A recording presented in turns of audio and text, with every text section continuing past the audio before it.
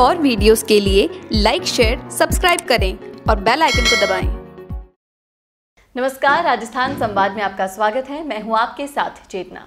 और आज हमारे साथ मौजूद हैं राजस्थान की राजनीति के वरिष्ठ राजनीतिज्ञ और निर्दलीय मंच के संयोजक चंद्रा सिंघवी जी। सिंघवी जी, आपका बहुत बहुत स्वागत है।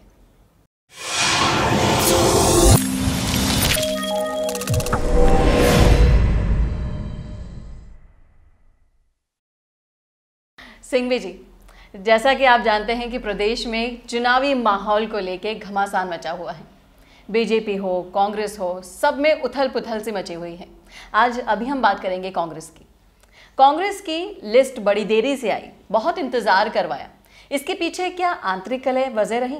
थोड़ा बहुत तो है ही। ऐसा है कि एक बारात में एक दूल्हा होता है तो सारा का ध्यान दूल्हे की तरफ़ रहता है। जी।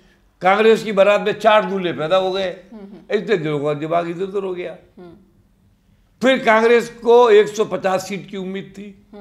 तो ज़्यादा गंभीर हुए ही नहीं कि 10 बीस टूट भी जाएगी तो क्या है। 130 तो हमारी है ही। इसलिए इस चुनाव की लिस्ट में कांग्रेस को पाँच, दस, पंद्रह सीटों का नुकसान हुआ है।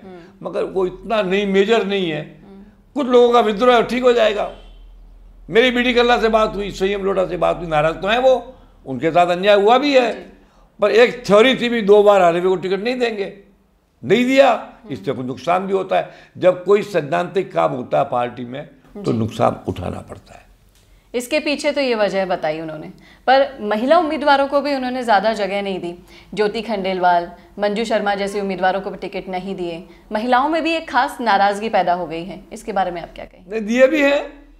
जो तुमने कहा उसको दे दिया गया कोई मतलब ही नहीं है। दिया ऐसी कोई बात नहीं है। मगर देना चाहिए था ज़्यादा। अब नाराज़गी का तो प्रश्न ही नहीं है क्योंकि कांग्रेस से नाराज़ होने वाला जाएगा कहाँ?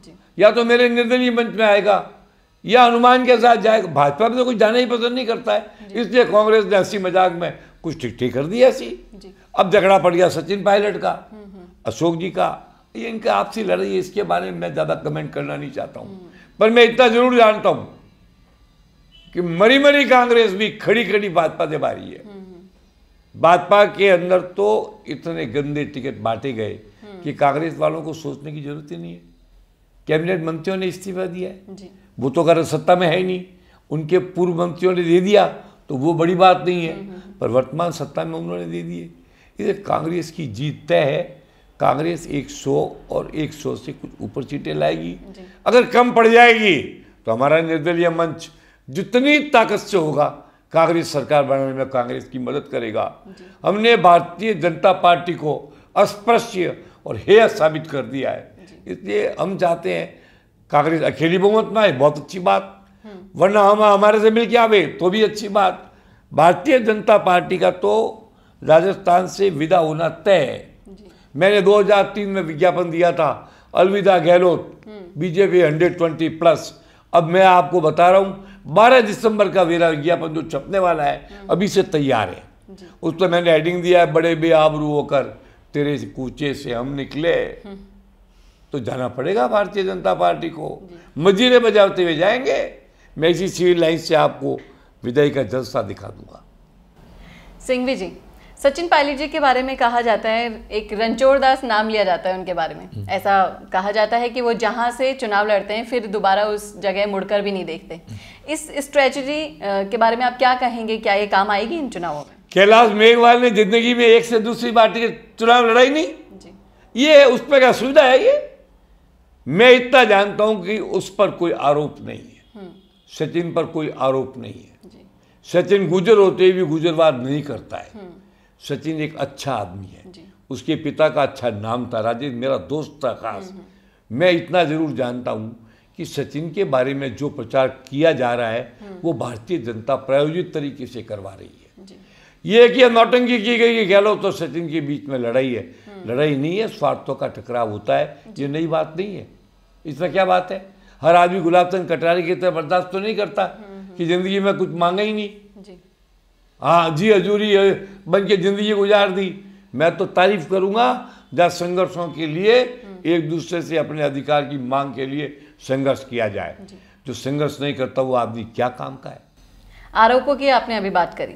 आरोप आरोप तो कांग्रेस पे ये भी लगे हैं जब इनकी पहली लिस्ट जारी हुई कि इन्होंने आरोपियों को भी टिकट दिए ऐसे लोगों को भी टिकट दिए जिनके आपराधिक रिकॉर्ड दर्ज हुए हुए हैं। इसके बारे में आप क्या कहेंगे? 200 विधानसभा सीटों में से मेरे हिसाब से 200 पर ही एक ने एक आरोप है। एक ने एक आरोप है गंभीर आरोप है। जी। तो नाकर का टिकट काटा है ना। गंभीर आरोप है उसके टिकट काटे है ना। अब छोटे मोटे आरोप है इतनी तकनीक अगर आप जाओगे तो चुनाव होगा ही नहीं। जी। फिर आपको पहले साढ़े सात करोड़ की जनता में मेरे जैसे 200 चेहरे ढूँढने पड़ेंगे जो आसानी से आपको मिलेंगे। जी। ये तो आपने खूब कहा सिंघवी जी। कांग्रेस को आप अपना समर्थन देने की बात कह चुके हैं। क्या कहेंगे आपके अगर कांग्रेस का आप कितनी सीटें मानकर चलते हैं दो सौ में से? कांग्रेस का बहुमत करीब करीब आ जाएगा। थोड़ी बहुत घटे को हम दे देंगे। भारतीय जनता पार्टी साठ पैंसठ से ऊपर नहीं जाएगी।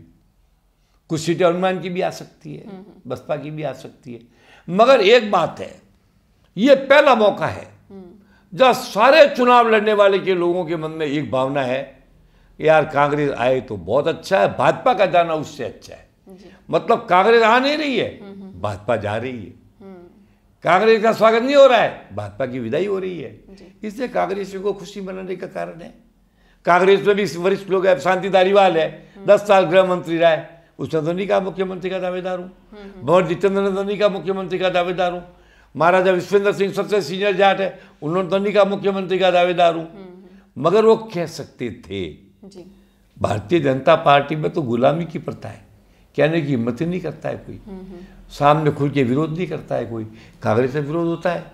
अशोक गहलोत का अगर मान लो दो बार रह चुका है और फिर उसकी रहने की इच्छा होती है तो आप ये मान के चलो भाई जब खाना स्वादिष्ट हो तो लाड़ तो सबकी टपकती है। जी। सिंघवी जी। आपने अपनी बेबाक राय एक बार फिर से हमारे दर्शकों के सामने रखी, इसके लिए आपका शुक्रिया। अब तो आने वाले चुनावों में कौन जीतेगा, किसकी कितनी सीटें आएगी, ये सब सबके सामने बहुत जल्द आने वाला है।